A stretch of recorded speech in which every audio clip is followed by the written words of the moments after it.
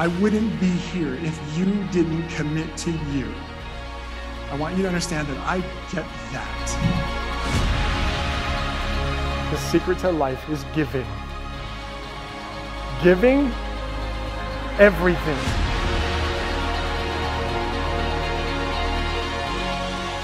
When people tell me bad things happen, we turn them into good. Right? Everything is happening for us.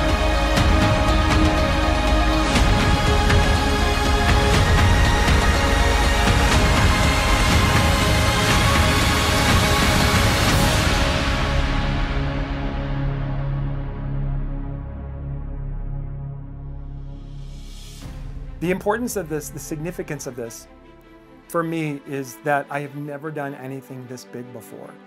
And I have a team with me who I've hired to help me put this together who have never done this before either. And then we have also gathered over 20 volunteers who are there specifically because they love what we talk about, what I talk about with strengths. They love it so much they wanted to give their time freely just to be a part of it to help in um, April of 2011. Okay, this is exactly about 10 years earlier. What happened was I was uh, managing a large apartment community in Irvine, California. I got fired. We moved here to Utah and got hired here. And it was here in less than 30 days I was fired again. I'm gonna be real honest. I was terrible at my job. I was living in trauma from getting fired the first time. This is the first time I've been back since that day. It's weird. I'm feeling, I'm feeling triggered, and I've been about, gosh, ten years since I've been here. Ten years. Ten years ago, I was fired. Obviously, and when I was fired the second time, in that moment, I know now that I mentally, right, and spiritually, chose to believe that I was no longer valuable, that I was disposable, that I had no value as a man, as a husband, or as a father. And I, and I was carrying my things, my box of things, from my job or my former job to my house. And the reason I was carrying my things because we only had one car then, and I didn't have the guts to call my wife to tell her to come pick me up because I'd been fired again. After I was here, that I decided I was just going to walk home and just tell her. So I walked three and a half miles until I got home. Told Angela I'd been fired. How was I going to tell my wife that I'd been fired again? How am I going to convince her not to leave me?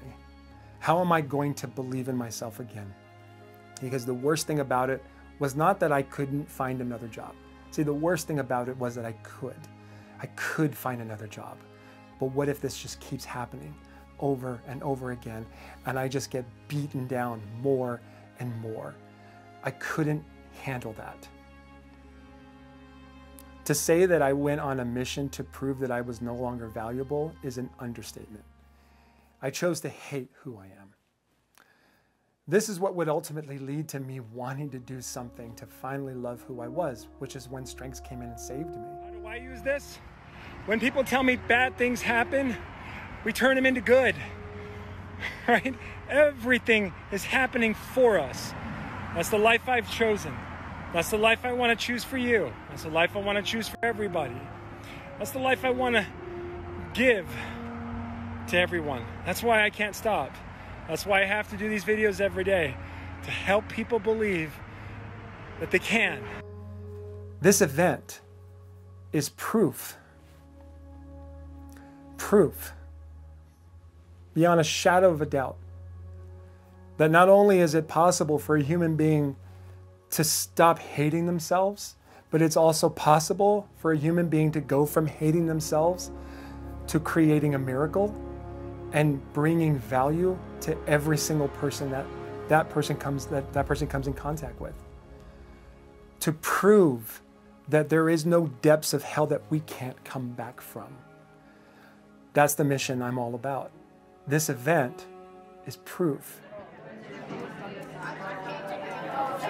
So we're taking, uh, so we're about to do a group photo here with all the uh, people who have volunteered to help out. Like this is insane.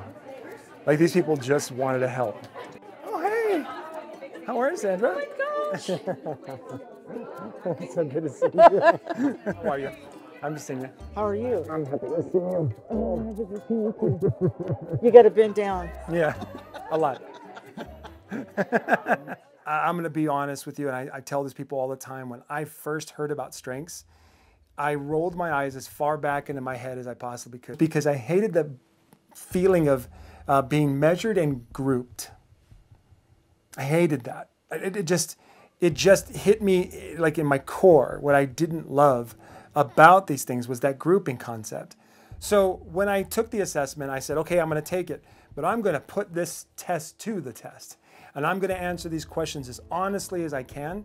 And that way, when these results come, I'm not going to be surprised and I'll move past this nonsense. So I took the assessment, saw my strengths, and immediately, like most people, blew it off until we went to the event. And at the event, I watched the people from Gallup talk about how strengths works, on how when we're focusing on our talents and strengths, where we are best with everything, we get more done efficiently and with more joy and happiness and engagement.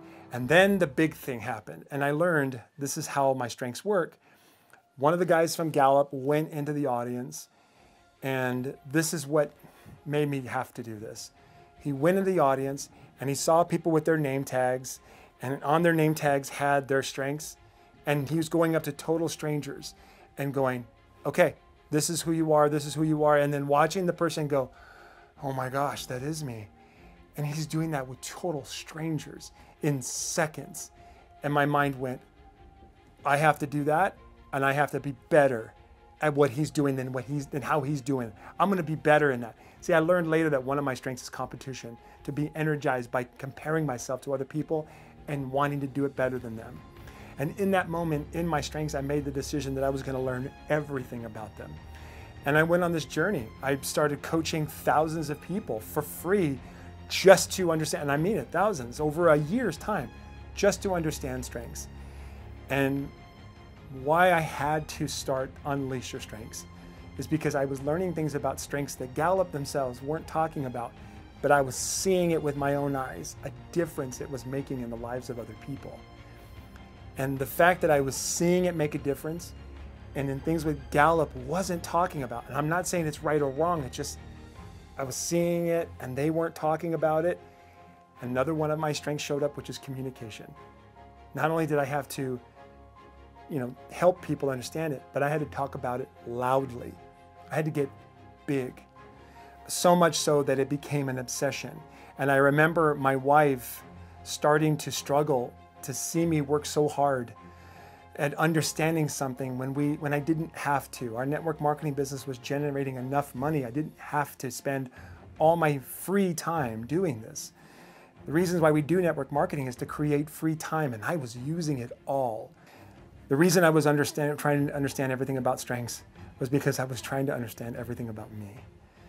I spent my whole life trying to be something I'm not for every single person I came in contact with.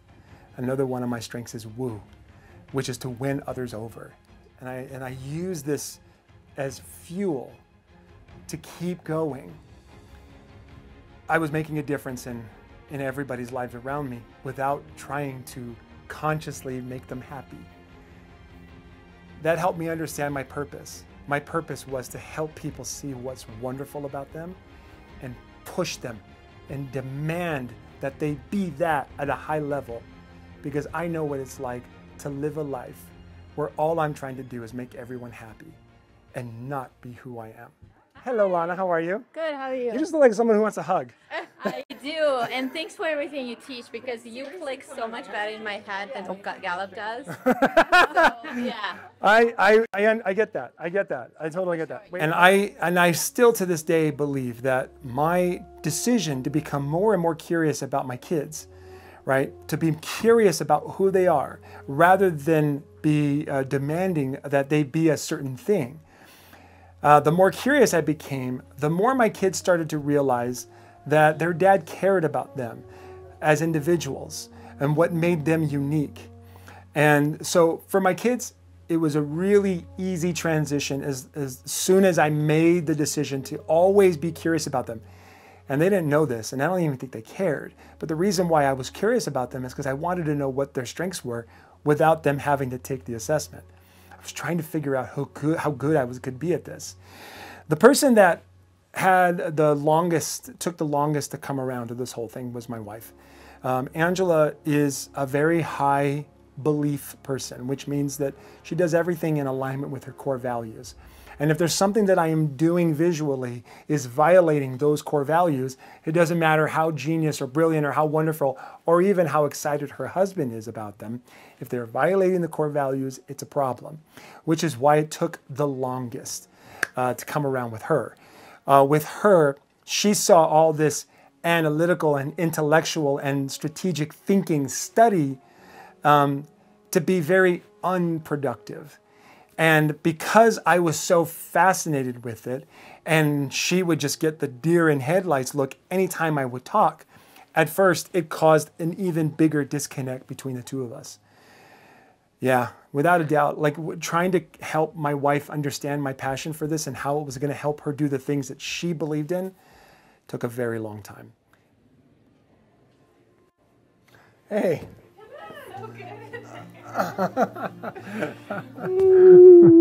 so proud of you.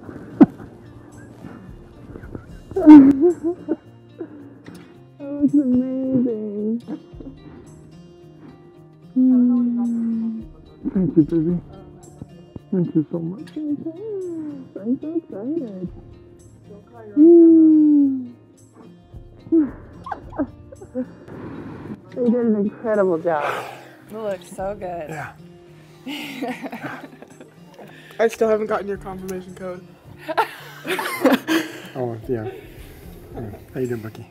I'm doing good. Is it cool? Yeah. Mm-hmm. So hey, Jackie. Cool. okay. I figured I, I do. I'll ask Ashley, not you. Or somebody in there. Um, yeah, Spring or Ashley, one of them will help you. Thank you, baby. Mm-hmm. it's crazy. Are you so pumped? I'm very, very pumped. What time do you go out there? Uh, in 10 minutes.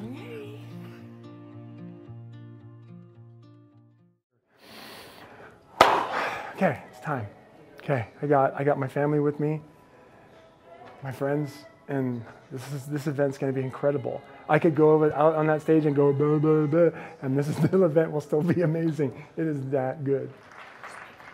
The Unleash Your Strengths team is excited to welcome you to Strengths of Guidance Live. On your feet, everyone. It's time to stand in gratitude and applause for the man who started it all. The man who sat in your seat, unsure if he would ever be good enough. Today, he stands before you with a mission to teach the world how to do one thing. Friends, it's time. It's time to unleash your strengths. Put your hands together and welcome to the stage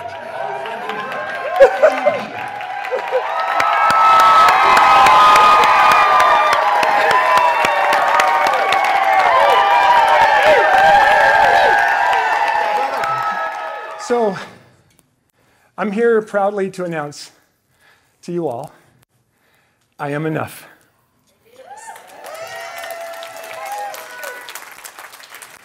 That applause, that wonderful, warm welcome. I deserve that.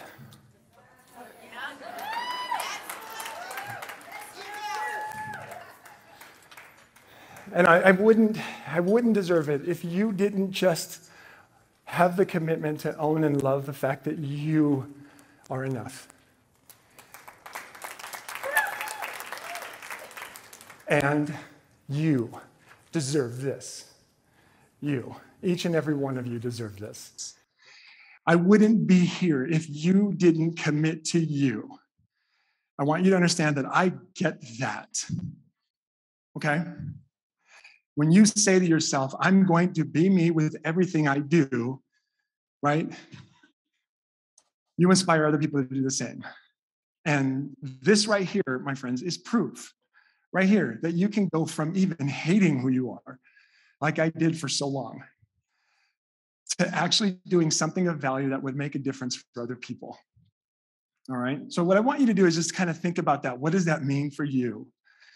right? To go from where you are right now to just being who you are, to attract all the right people to your life, business, everything by just being you. That's it, right? Uh, all right. Well, first off, I wanted to just start off here real, real quick with the big picture. Why are we here? I, I'm here to help you create two results. Okay, that's what that's what the primary function of this is. Two results. Okay. Number one, to grow your business. The second thing that we're here for is to do it by being you, to prove all you have to do is be you. Okay? That's the second thing we're here to prove that. So, why strengths? Why is strengths important? Um, well, let me just kind of explain what strengths is. Strengths is how we, you, I, all of us, are infinitely unique. Let me explain what infinitely unique means. It doesn't mean that I'm different than people in my, it doesn't mean that I'm different than people in my neighborhood. It doesn't mean that I'm different than people in my family, which I am. It doesn't mean that I'm different than people in my city, my state, my country, or my culture, or even my planet. I am different than anybody that's ever been or ever will be. And you know what's wonderful? So are you. Now, we all have some similarities, but still different. And when the, the thing for me that excites me about strengths when it comes to this concept is that means that if each and every one of us is infinitely unique, then there's no point to compare. There's no point to look at someone else and go, oh my gosh, I can't have what they have because I can't do what they do or be who they are. Well, duh, that's the point. You are not supposed to be them. But that's where we go that limits us from the greatness that we are infinitely, infinitely uniquely designed to bring. That's why strengths. Because with our infinitely unique combination of strengths, and partnered up with our infinitely unique combination of experiences means that I, you, all of us has something infinitely unique to do, to teach, to share, to provide, to create. That if you don't, and I don't, and we don't honor that and own that, then no one in the history or the future will ever get to experience it. That is the responsibility that I hold, that you hold, that we all hold, is to be who we are at such a high level that the world gets to experience the only thing that only you and I can bring. So, who here has only the top five? Raise your hand. Couple? Okay, cool. All right. So, I want to know who I'm speaking to. So, everybody, just about everybody here has got the full 34. If I asked you what is your dominant domain, do and raise your hand if you do not know what that is. Raise your hand. Cool, man. I'm doing really good. I have taught people well. Awesome. That's it. Huge. I've been doing, I've done. All right, so the speakers for this event, I, I, I'm really excited about because these are not just the most amazing people on the planet to me. I honestly believe that these people are just proof of that what I experienced in my own life when it comes to applying my strengths and seeing my value is not just a fluke. It's a thing that can be duplicated over and over and over again. And it's not just for people who are unhappy with who they are. It can be for people who are already experiencing greatness. And so all the speakers at this event are all representing people on different levels of that greatness. Some of them have never done anything entrepreneurial in their lives. Some of them have been entrepreneurs for quite a while. And ultimately, what I love about this group is how strengths can apply to anyone, anywhere, anytime, and bring value to any uh, in any way. It took a, a little bit of time uh, in this in this for me to be convinced to win me over completely. I still was skeptical, but there were a few moments in my strengths journey in that first 100 where my heart sort of softened a little bit and welcomed the idea of strengths into my life and it was a moment when I uh, created the Strengths Proclamation, my Strengths Proclamation. I have six relationship building strengths and three influencing. So I love to connect with the right people and move them forward. And in my job as a teacher, I wasn't doing that. I was in my head too much. I was listening to those around me who were saying, this is how you have to be to be a successful teacher. You're too involved and invested in their lives. Just teach and do this. Da, da, da, and so I had become something that I never was meant to be someone who was pretending to be a teacher, playing the role of a teacher, but it wasn't who I was. And it was this moment when I, I jumped into this course to better my doTERRA business, but it impacted every other part of my life. And so it was at some leadership that he spoke, and I don't know if it was recorded and I put it on. I don't, I don't know any of those pieces. But I was so alive inside listening to that about strengths. And I had been introduced to strengths. I had been introduced to Gallup twice, five to 10 years sooner. And I knew my top five. Okay, I know my top five. Is that who I am? Yep, that's who I am. Okay, that's what I knew. So when I listened to Eddie talk about it, I said, I need to know more about this. So I dove in. I listened to every strength on Gallup's poll podcasts. I drew about them. I wrote about them. I wanted to learn about them. I wanted to learn about mine. I wanted to learn about everybody else's. I wanted to know more. And I jumped in early on. I, Eddie's been going for, I don't even know how long, but somewhere along the line, I jumped in and started listening to Eddie.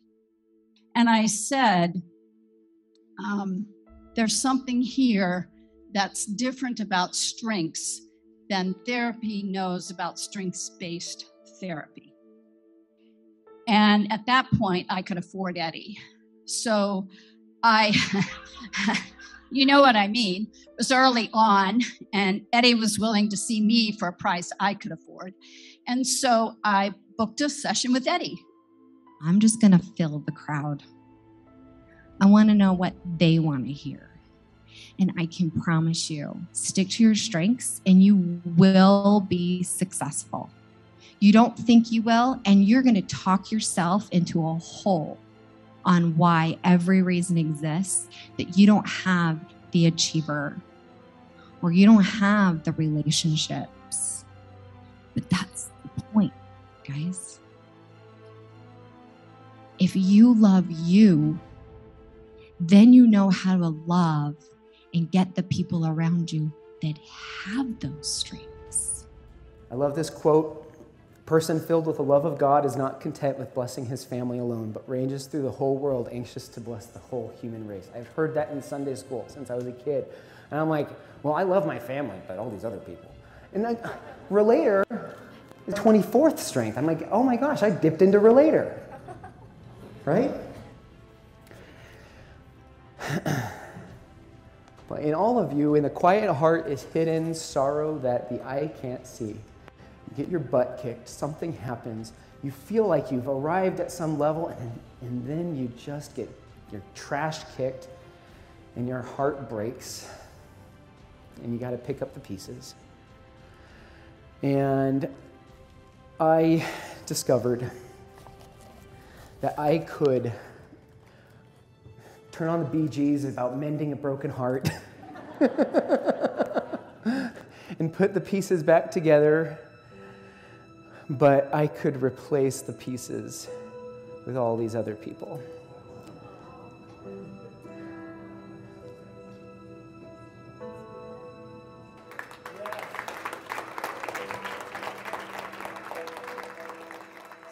And then finally, my favorite, my wife.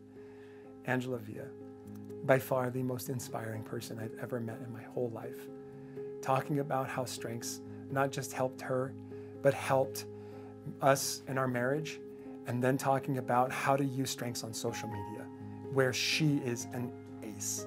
I do everything in a way that honors my desire to move people forward. I always thought that I was pushy and demanding and a diva and so many horrible things but it's who I am. It's who I am.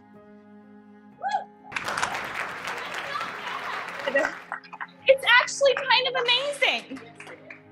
it's kind of amazing because I've grown a team of more than 250,000 people. I don't think I could have done that pretending that I wasn't pushy or obnoxious or dramatic or diva. I couldn't have done that. So I've learned I'm happiest. I don't have achy body or, or weird injuries, and I don't have depression. And I don't have days that I want to stay in bed and cover my head when I'm honoring my desire to move people forward. And I'm honoring my desire to move myself forward. I actually was talking to my husband the other day about quitting doTERRA. I was, wasn't I? Because I wasn't honoring my desire to move myself forward. It's all I've ever wanted to do in my whole life. And people tell you you're a ballbuster or you're wrong. It's just who I am. And I just picked myself up and I realized you always have to move forward, Angela. If you don't, you'll be depressed. You're not honoring this gift that God gave you. Because when I move forward, people want to come along. When I'm stuck and I'm hiding, nobody's inspired by me. In fact, my team calls me out on my calls like, you were weird today. and it's because I wasn't honoring me. I wasn't I wasn't honoring my love letter to myself. It's exhausting to constantly want to move forward. It's exhausting to constantly want to get things done. But I'll tell you what's worse is doing nothing. It wasn't meant to be emotional, but I'll tell you how healing knowing yourself is. And showing up like that is healing to not only you, but to everybody around you. It allows them to sit with you and heal. Does everyone, can everybody get behind this? Yes?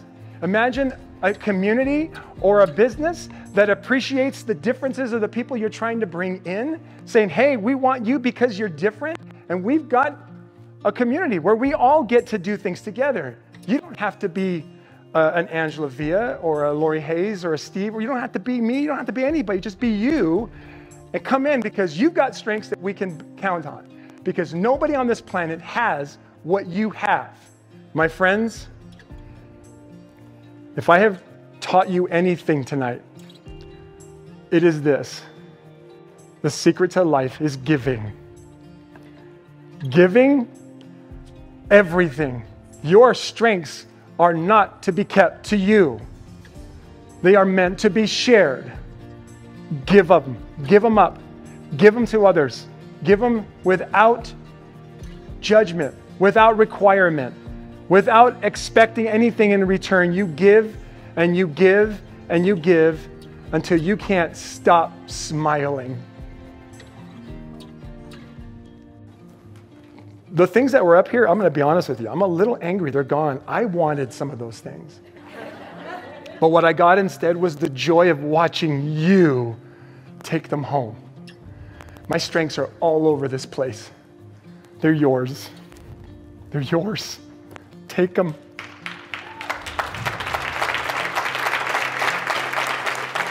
Hi, my name is Karen Hackley. I'm from Culpeper, Virginia. I have had the most wonderful time with this live event. It's my very first one. I wasn't sure what to expect. It has exceeded my expectations. I learned things about myself, such as that I'm a strategic person. That's invaluable to me because in trying to figure out how to work my business, it's going to give me really good a good guideline for what I'm supposed to do. So right from the very beginning in the morning all the way to the end, we've talked so much about what I can do to build my business and to become successful in doTERRA. And I'm so excited. I'm so psyched now to get going. But I'm super excited that I came today. I knew that when I walked in here that I was going to discover more about myself. And the takeaway that I'm leaving with today is one that I never imagined. And it was when Angela Villa got up and spoke and she talked about those people who are afraid to get behind social media. It's because they don't know who they are. And when we get behind social media, our lives about who we are, right, are amplified. And that really hit home. I love what Strengths is doing for me as far as helping me to discover who I truly am so that I can go out and make a difference in the world and help more people discover who they are. So thank you so much to Eddie and all of his team. Hi, I'm Tom Baker from uh, the state of Maine. I'm here at this event with uh, Steve and Eddie, and they were fantastic. Um, I've been to a lot of conferences, and they were just great as far as they relaxed everybody. They had jokes, but they also got their point across, and everybody listened, everybody laughed, and it, it was just so relaxing. You don't find these events like this, and I want to give them congratulations on uh, keeping me informed on everything going on. Hi, my name is Stephanie Baker. I am Tom's wife.